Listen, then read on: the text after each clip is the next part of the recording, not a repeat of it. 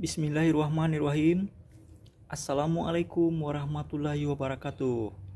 Berjumpa lagi dengan saya, Eskani Sair. Channel saya ini menyajikan tutorial mengenai inspirasi, edukasi, dan eksplorasi. Bagi sobat di mana pun berada atau bagi siapa saja yang baru membuka channel saya ini, semoga Anda selalu dalam keadaan sehat hendaknya. Bagi sobat yang sudah subscribe pada channel ini saya ucapkan terima kasih dan bagi yang belum silahkan pencet subscribe-nya dan tanda lonceng agar sobat tidak ketinggalan informasi dari tutorial yang saya bagikan di channel ini.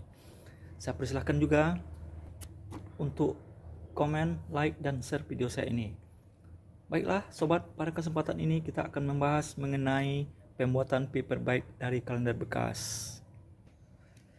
Seperti kita ketahui, tahun 2020 hanya menyisakan beberapa hari lagi dan akan segera berganti dengan tahun 2021. Begitu juga kalender yang berada pada dinding-dinding rumah, dinding-dinding perkantoran akan menjadi barang-barang bekas yang tidak berguna. Pada umumnya, kalender-kalender tersebut dibakar atau dibuang begitu saja. Nah, Daripada terbuang percuma begitu saja, lebih baik kita pergunakan menjadi barang-barang yang bermanfaat untuk membawa barang, untuk membawa apa pun, misalnya membawa pakaian atau membawa barang-barang yang lain yang biasanya kita gunakan dengan tas kresek. Sekarang kita ganti dengan paper bag. Bagaimana cara pembuatannya? Nah, ikuti tutorial saya berikut ini. Pertama sekali yang perlu kita siapkan adalah lem kertas, kemudian bulator atau pelubang kertas, kemudian ballpoint, kemudian korek api, penggaris, pisau cutter, gunting, isolasi bening jika diperlukan, kemudian tali atau bisa tali ini juga bisa diganti dengan uh, tali cord kebetulan saya hanya memanfaatkan apa yang ada saja. Kemudian yang bahan pokok yang yang utama adalah kalender bekas seperti ini kita lanjut dengan cara pembuatannya. Pertama sekali kita potong bagian yang tidak penting seperti ini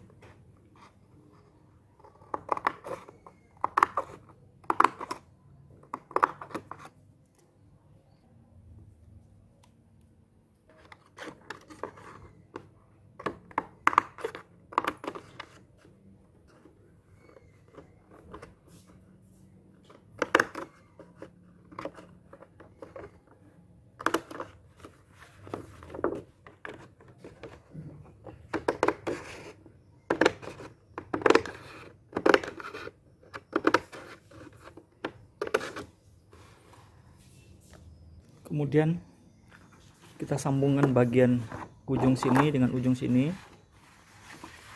Dengan terlebih dulu. Melipat bagiannya. Kita ukur dulu.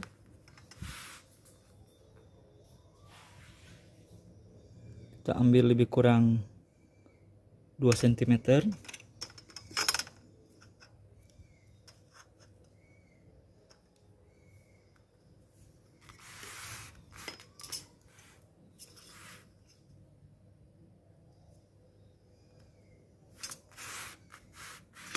seperti ini.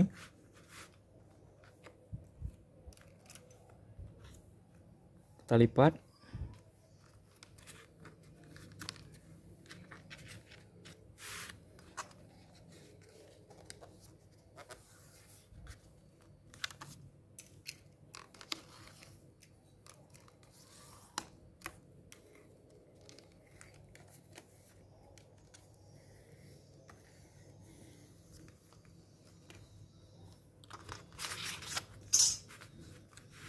setelah itu.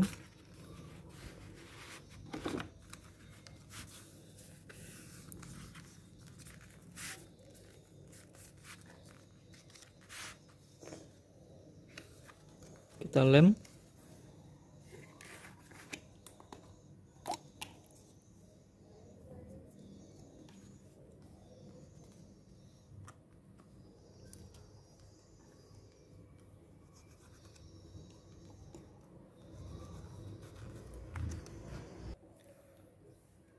kemudian bagian yang kita lem tadi kita sambungkan.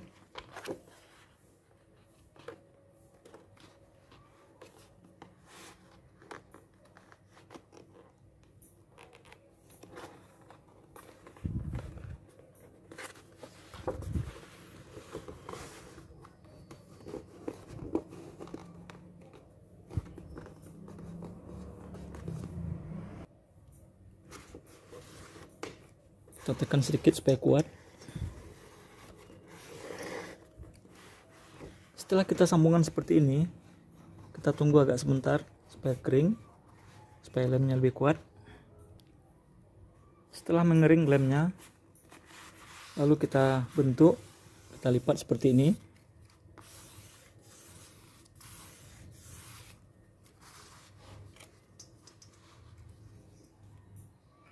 Kemudian kita ambil sebelah sisi sebelah sini. Kita ukur lebih kurang 4 cm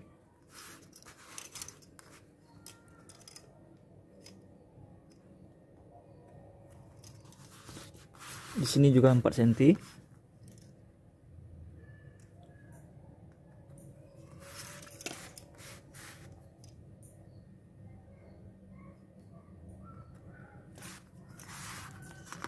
kemudian sisi setelah kita ukur seperti ini kita lipat seperti ini dengan bantuan pengaris supaya lebih lurus.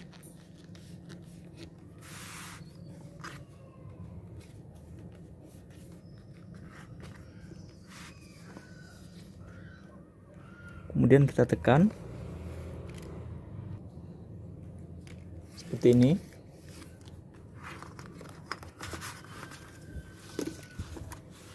bagian sini juga seperti itu.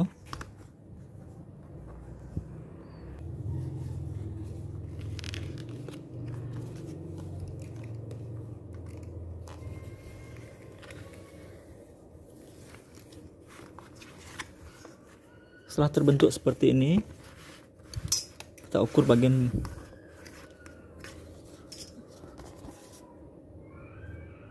bagian pinggir sini dan pinggir bawah ini ini kita taruh ini bagi sebelah bagian bawah.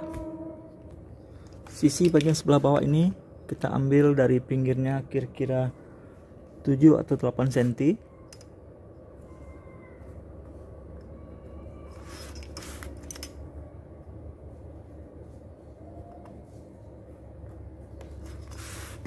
lalu kita lipat atas bantuan dengan bantuan pengaris seperti ini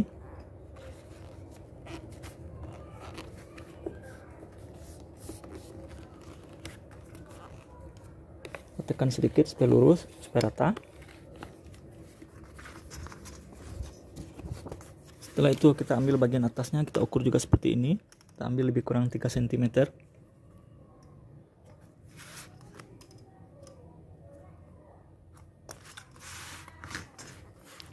kita lipat juga seperti tadi dengan bantuan pengaris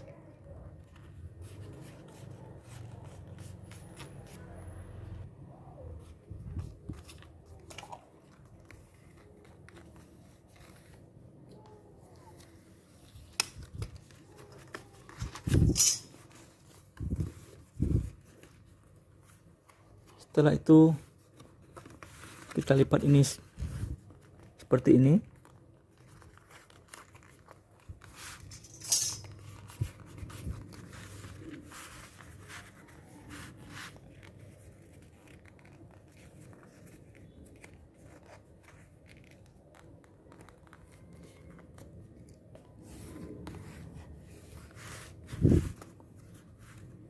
Kemudian kita lipatkan seperti ini.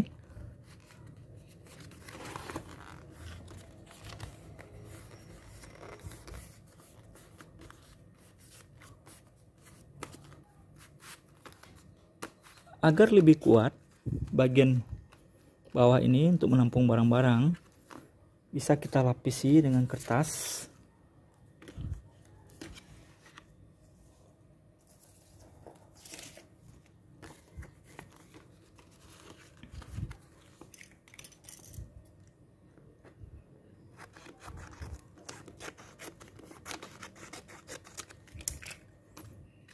seperti ini.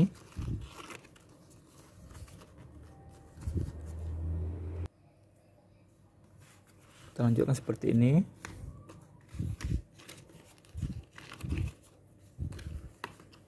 Kita lipat seperti ini. Bagian bawahnya. Sebelum kita lem kita bentuk dulu lipatannya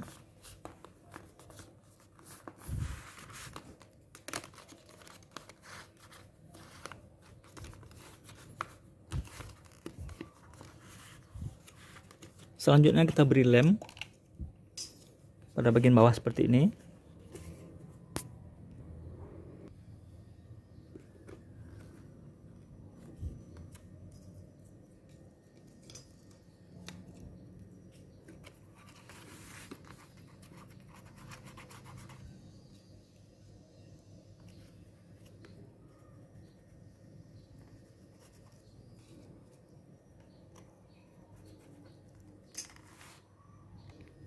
selanjutnya kita lipatkan.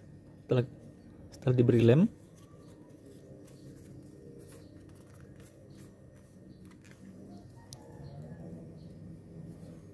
Kita lipatkan kedua sisinya.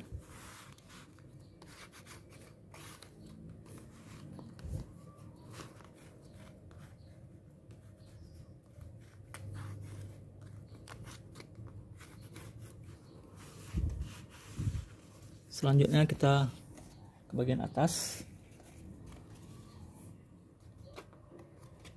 Lipatkan sisi bagian atasnya ke dalam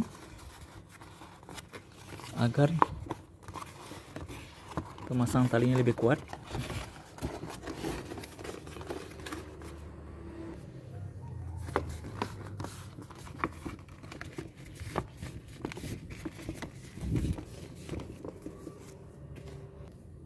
Nah, pada dasarnya tas paper bag ini dari kalender bekas ini sudah jadi.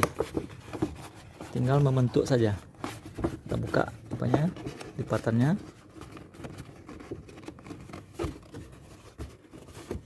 Seperti ini.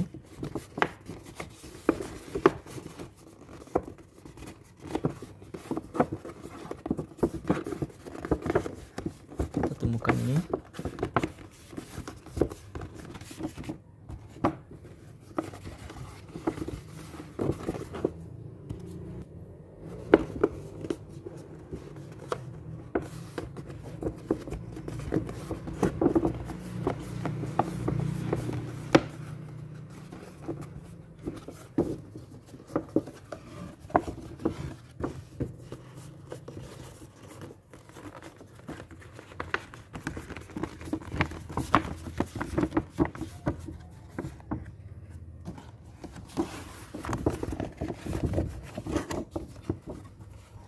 Sekarang. Paper bag kita sudah siap. Selanjutnya hanya memberi tali untuk jenjingannya seperti yang saya uraikan tadi tali jenjingan ini bisa diganti dengan tali core. Kebetulan saya hanya menggunakan tali plastik seperti ini. Saya memanfaatkan apa yang ada saja kemudian untuk membuat tali gantungannya atau tali untuk jenjingannya kita ukur ini dulu. Maaf. Kemudian untuk tali jenjingannya kita ukur ini lebih dulu. Kita tentukan bagian tengahnya.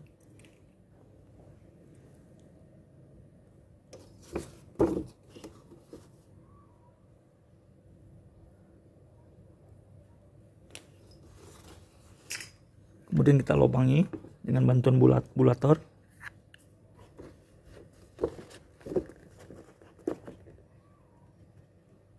Perhatikan. Bertalinya nanti seimbang. Dapat nampak di segitiga tanda segitiga di sini. Untuk bagian tengahnya.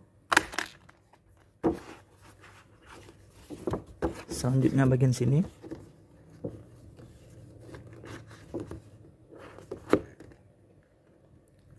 agar di tengah posisinya perhatikan tandanya seperti ini di bulatornya tanda segitiga seperti ini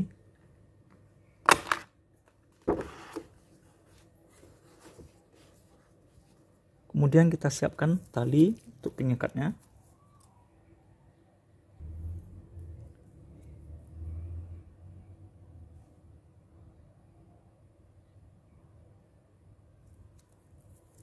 Tali ini sebaiknya kita pelintir dulu. Seperti ini.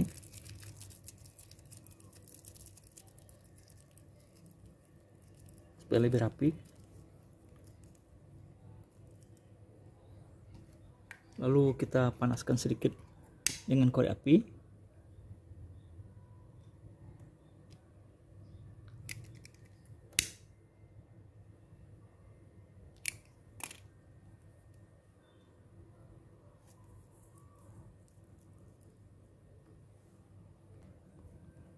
Nah, talinya sudah siap. Lalu kita pasangkan seperti ini.